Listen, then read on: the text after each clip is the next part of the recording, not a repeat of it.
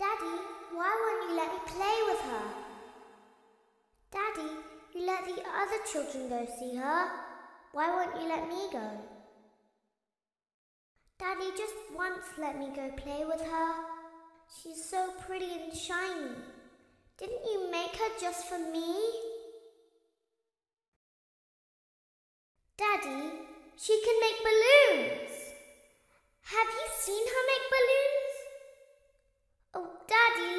Go to her.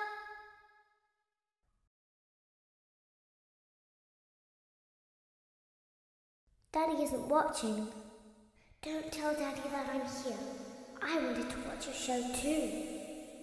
I don't know why he won't let me come see you. You're wonderful.